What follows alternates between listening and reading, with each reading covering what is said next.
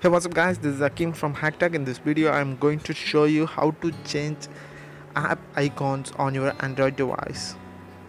First of all you have to open up your Play Store and search it for awesome icons and open it up and install it. Here I'm already installed this app so I'm just open this app this app shows all the apps presented in your app drawer.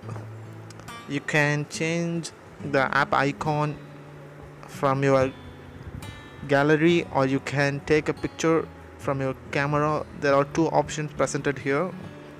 One is the app another one is the camera app third one is the gallery. Here i'm changing my whatsapp icon.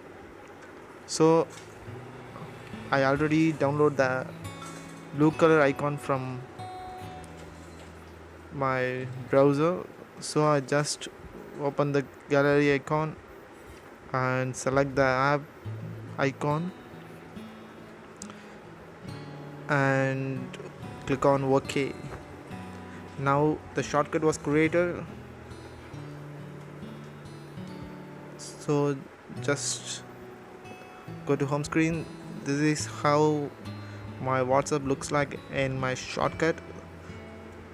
That's all guys. Thanks for watching. If you like this video give a thumbs up below and don't forget to subscribe my channel